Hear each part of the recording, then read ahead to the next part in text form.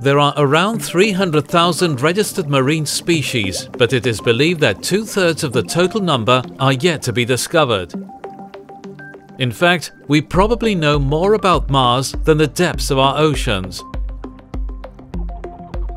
So far, in order to explore these ecosystems, propeller-equipped submarines have been used, but these vehicles are noisy and muddy up the waters we may be able to learn from creatures such as tuna fish, which are some of the best swimmers of the seas.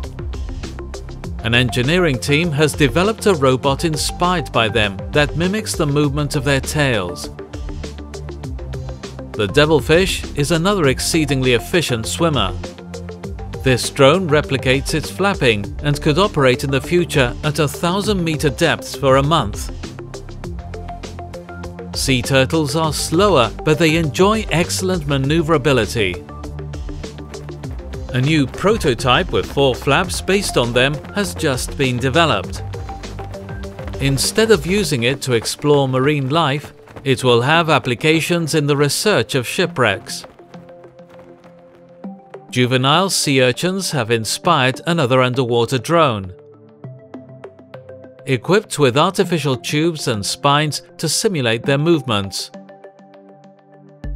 In the future, it could be used for underwater cleaning and inspection of inaccessible areas.